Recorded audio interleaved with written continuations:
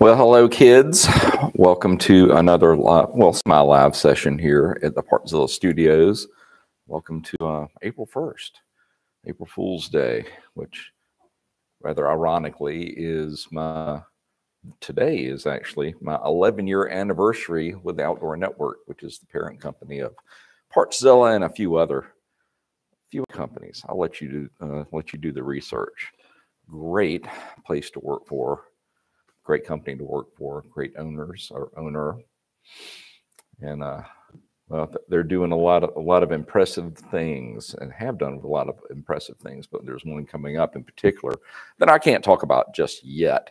But I, am sure the uh, multimedia team is busy putting together the best way to promote something large that the Outdoor Network has been working on. But uh, for today, we're just gonna go through a few questions, see if we can get a few answers out of me, and then I don't know, call it a week. And it has been a week. I, I know I say that almost every week, but whew, I'm tired. My back hurts. I ain't as uh, ain't as good as I once was. Isn't that a Toby Keith song? I think. All right, first order of business. Let's swing around and see what reminders. Of course, you know I'm going to say something about the Monster Monster Energy AMA Supercross Series. And of course, we're doing another giveaway this week. This week, there we are giving away a pair of Motion Pro titanium alloy Prolight wrenches, and that contest will run until next Friday. Of course, go to partzilla.com forward slash LP forward slash PRMX to enter and there is no charge to do so. And ne- then next Friday, we'll start taking entries for a risk racing holeshot practice starting gate. And I actually saw where that was uh, kind of a difficult one to get. So I ordered it like a month ago. So it's actually sitting in my office waiting to be given away. So definitely, uh, definitely hit us up, especially if you're in the motocross world. That'd be a great way to practice up. All right, a couple of questions I may have missed last week. My land up north off grid. That's a heck of a name. What to do with a 2003 Honda 400EX? I've got one of those. Gas tank petcock that can't completely shut off fuel to gas turned on after sitting for seven years. Open and closed it is possibly missing a seal. Well, on the inside of that petcock, you've got an inlet and an outlet, and you've got a, a small valve. And in between that valve, you have a uh, rubber gasket, or more like an O. Well, it's not an O-ring, but it is a gasket made out of rubber. And over time, those you know, rubber wears out, it gets hard, and it's leaking through there. So I'm, I can't remember if that one is actually one that you can pull a couple of Phillips screws off and then just replace that rubber piece or if you have to replace the whole whole gasket. And I can't really see that far up on uh, our 400EX to tell you that. But if you go to partzilla.com and go to that particular year, make, and model, go to the fuel tank, it should have an exploded diagram. And if if that little uh, gasket that I'm talking, rubber gasket I'm talking about, is available, it will show up there. So that's that's definitely going to be the problem. And oh yeah, sitting for seven years, yeah, you've got a lot of stuff to replace in there. Um, even if you can get the uh, the petcock cleaned up, the uh, the pickup tube actually goes up into the bottom of the fuel tank, and it has a very fine plastic filter.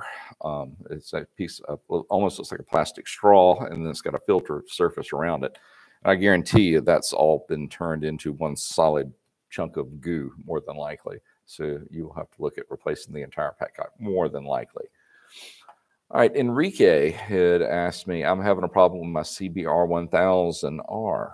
It turns on, but as soon as I get on it and set upright, it turns off. Hmm. And the tip sensor is already bypassed. Where should I look first? Well, that's where I would have sent you first is the tip sensor. And when you say it's bypassed, how was that done?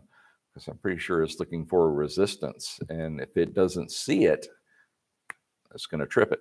So I'm more than likely when you're sitting it up and then kicking your um, side stand up, that's when it's shutting down because it thinks it's all the way over. So I think it's been bypassed incorrectly, in my opinion. All right. Nick had asked me, I'm having a power steering light come on sporadically on a 2020 Polaris Sportsman 850. I know my stator, battery, and relay are good. Could the regulator be causing this? No, it's the only symptom I have. Well, I know that there were problems with the uh, the power steering having issues on the, the 850. Now, if you're worried about your regulator rectifier maybe being the, the culprit instead of a failing uh, power steering unit, well, do a voltage check with a, just a, a voltometer. At rest, you should be north of 12.5, 12.6 volts. At a uh, healthy idle, should be around 13.5, but not more than 14.5, nowhere close to 14.5. So take a look at that with just a, um, a multimeter and see what you see. All right. Dang, I caught up with y'all last week. Well, there was one more from D11. It's on the next page. Could a faulty starter relay output weak voltage to the coil? Two separate circuits here. If we're talking about your your coil as far as your ignition coil versus a starter relay. So I'm not sure what you were asking me, D11. If you're on this week, drop a note in the uh, the chat and give me some more information as to which circuits we're talking about. All right, well, looks like we've got a few people lining up. Okay, don't want my videographer to get upset at me. Up, oh, she doesn't like those panels in the top. I'll scoot down a little bit. How's that, Tracy? Is that good for you? Is that 20% above my head? oh, you got to love uh, harassing your coworkers. Alex G. Hey, John, your videos are my favorite to watch while I eat lunch in the shop. Cool. Uh, wouldn't be as successful without your guidance. Much love. Uh, well, you're very welcome. Thanks for dropping by and spending a little time with us. Panagiotis. Hi, John. Good Friday. It is a good Friday, Panagiotis. Did you look back on our uh, either our Facebook or Instagram? Uh, we uh, posted your a couple of your photos of you ripping it up over in Sweden. If you haven't looked, go take a peek. Uh, I'm sure that they're still up. Hanif EFI, hello, how are you, dear? I am well, sir. I'm very well. Julian is asking me, hey, John, I'm stuck. I don't know what to choose from, a TRX 450R or 400EX. I like the ease of maintenance on the 400 and the power of the 450. I do mostly trail riding, but I love to open it up a lot. Thanks. Well, it sounds like you're in the right in the middle of those two uh, transition machines. I've I've owned a 400 EX, and my son rides a, uh, Yamaha 450R, and I really well back when I could get my knees to actually function correctly. I like the 400 EX better. It was um, more comfortable, not as high strung. Suspension was softer and uh, Brantley has he often commented that you know this 450 just literally beat the crap out of him because the suspension from the factory is set up to deal with some you know race level events and that is not what you really experience when you're on the track or trail but what we did to his is we calmed down the suspension a little bit we went to race tech and uh, swapped out the springs for a different rate front and back and then adjusted the rebound to give it a more plush feel. And he could still run it on a uh, on a MX track or uh, you know, an open track, but it was more manageable for longer rides in the uh, in the woods and uh, doing trail riding sessions on it. So if you really like the power of the, the 450, go ahead and go with it and just calm the suspension down a little bit so it's uh, more manageable to deal with on the trails. That's what we did, and it worked out pretty well. Stefanu. I can't even pronounce that last name. I say that quite often. Hello, I've been following for a long time. What do you think about the 2006 Raptor 700? Is it reliable? It is, as long as you don't get carried away on uh, modifying the top end with extra compression um, or a higher compression ratio. I, I believe it's um, Cuervo Racing. Uh, if you want to look up their site, uh, they're fantastic at um, modifying the Raptor 700. It's what they specialize in. And if you're really going to string one out, you want to look at one of their uh, case strengthening kits because there's a couple of weak points in the bottom case itself. When you really start trying to get more more oomph out of it, which I'm not sure why anybody would, they're prone to crack. But are they reliable as long as they're stock? Yes, they are. And there's no doubt about that. Um, Christian backs me up on this. Yes, a 2016 Raptor 700. It's a beast and very reliable. I would agree. DGC, Weed Nerd. Cheers, everyone. Cheers. How are you today? Mm. Ashanth. Hey there. Okay, I have an R6. It's a 2006 model. Could you please advise the best performance upgrades? Where can I do to bump the the AC uh, the the HP up a little bit? The usual suspects go with a full exhaust. Um, although the one that's on a stock R6, it is pretty strong in and of its own. But get something a little bit more free flowing. It's really your choice, and then go with a power commander to uh, open it up a little bit the power commander, you don't have to go into reflashing your ECU. It's simple to do. They've already got maps out there you know, for different exhaust systems. I mean, the R6 is pretty quick just out of straight out of the box, but they make it Yamaha makes it really easy to get a few more horses out of it, you know, without much effort. So just an exhaust system, and then the uh, the power commander with a good good map should uh, wake it up a little bit more. Cold War Man. Hi, John. I have a problem with the Honda TRX 350 89 Foreman. 350 Foreman? I thought that'd be a 400. Um, the fuel level indicator turns on and off. I decided to remove the sensor, and after pressing the float to the plate, it worked. How to fix it? All right, let me read that again. I decided to remove the sensor, and you're talking about the uh, the fuel level sensor, and I think that's just a mechanical device in the tank itself. After pressing the float to the plate, it worked. How to fix it? And I believe that uh, it's mechanical, and that lower um, lower section it kind of works in a helical direction, and that turn as it goes up is what makes your um, your level either go one way or another. And typically, you just have to clean those back up and make sure that that float, if you want to call it that, isn't full of fuel. And um, I think that uh, that would be it. Panagiotis, yes, I did, and Instagram. It's amazing. Thanks. No, thank you for sending them, and uh, well, well, just thank you for sending those and sharing them with us. Snow Patrol. So my body is trying, is only trying to rebuild the top end of a 1992 Yamaha 600 with 70,000 miles. Tell him to do the whole damn thing. I think that'll that'll come to fruition as he as he gets in there. But hey, if the bearings are still in good shape and you're not getting excessive wear, leave it alone. Just do uh, pistons, rings, and maybe uh, rework those valves and or seals and uh, call it a day. But uh, if he gets down and that, that crankshaft feels like it's supposed to, let her keep going. Julian, suspension is not a big deal for me. I'm worried if I'd be disappointed with the 400 I've owned the 400EX and the KFX 450. And I currently decided to go with the TRX 450 or 400EX. I am only 15. 15, whoo. You're not supposed to be on that machine yet, but um, I'm not the dealership, nor am I your dad. So uh, whichever one you decide to go with. price to ride is big for me. Oh, I understand that. Isn't that the case for all of us?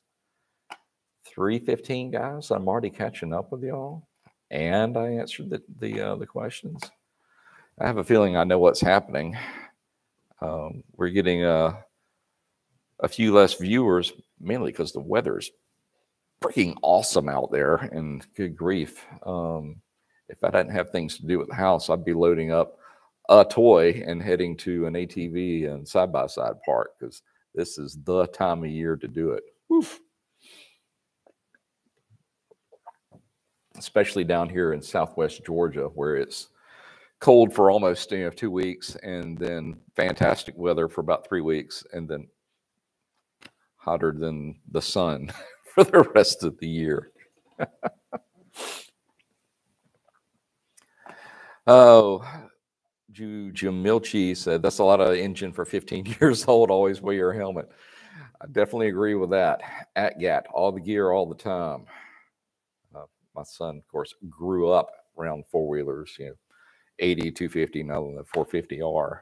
And oh, he was so upset with me the, with his 80 when uh, I had him start wearing real motocross boots. Oh, he was so angry about that. It was a big protest that went on, but yeah, I won because it's being a parent is not a democracy; it's a dictatorship, as it should be. But he got over it, and he still wears all the right equipment to this day. So mission accomplished. Mm. Cold War Man came back. The float is on a metal sleeve, and after a year, the float is loose. It must be getting caught up, or it's probably worn grooves in the side of it to where it's, it's not reading accurately because it's unable to move up and down all the way. So there may not be a fix for that except just replacing it. I'm waiting for the stream to end and then I'm going riding. Oh, heck yeah. And Panagio just said the weather is exactly the opposite here. That would make sense because uh, you're on the other side of the world from me. Julian, I've been riding since the age of four. That's when my son started, and I did as well on that machine right there. Of course, my feet couldn't touch the pegs, so I just ride around in circles in the first gear, and uh, Dad would walk up next to me if I blew the horn, and that worked great till I ran out of fuel. I was blowing the horn on the way down. I've been riding since age of four, so I know how to handle the KFX pretty well. I just can't decide what to go with reliability or power well, I think you'll have both with the 450R. And the, the 450R is a very reliable machine. It's just like riding an ang- angry chainsaw. No, but I want, would that be my weapon of choice? No, um, I'm old. You're young and made out of rubber, so you can deal with it. Go ahead and go with the 450. I know it's a good bit more expensive, but uh, it will serve you for years to come. Stefanu, is the lower steering stem bearing hard to replace on the Raptor? Many things will have to come off to do it. It's it's not too hard to do, um, but you're right. It's the hard part is just getting to it, and then you may have a hard. I've never done one on the on the on that particular unit on the Raptor, but I know that they uh, they being Motion Pro makes a uh, a bearing a steering head removal tool that makes life livable because otherwise you're going to be trying to use a drift of some type to knock it out from the top, you know, hitting it from the bottom. Now, if you can get an edge, you know, one of the edges on uh, the bearing race, great. But I've gotten into some that were damn near impossible. So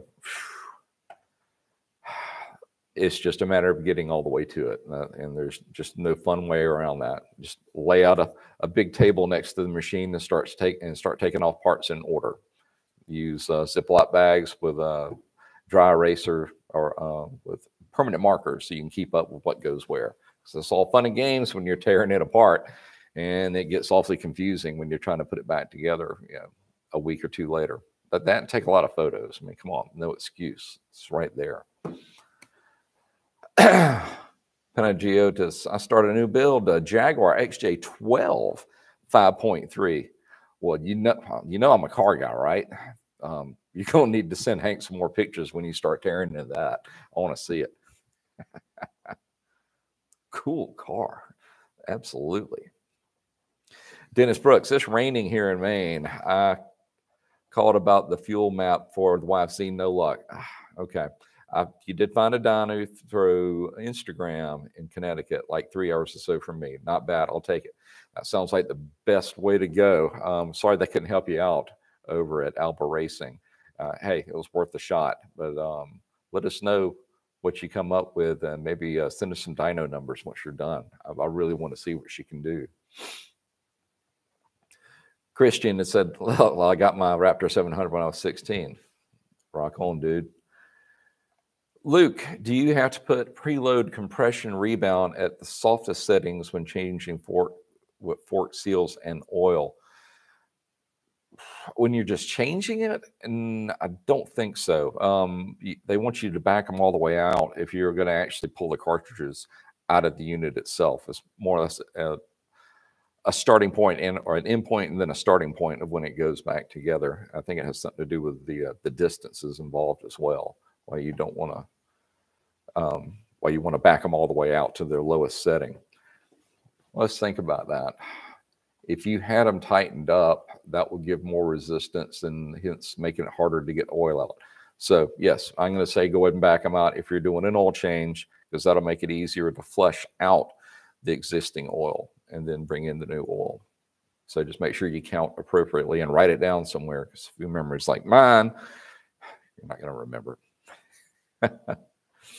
DGC 77 yesterday, 28 and snow today. And wow, in Pennsylvania, 50 degree swing. Jeez, folks. Talk about bipolar weather. Unreal. Julian came back. Thanks for the extra opinion. Really, the main thing stopping me from getting another 450 is the shim valves. I've never done them before, but I can do pretty much everything else uh, in the top. Julian is it's, it's not that tough. Don't be afraid of that. I mean, uh, you will have to buy a decent uh, micrometer so you can measure the shims and a good set of um, feeler gauges, but it's not something you're going to have to do very often. You know, Brantley's machine is we, are coming up on seven years old, and we've been in the, into the top end once. So that, I wouldn't let that scare me at all. I really wouldn't.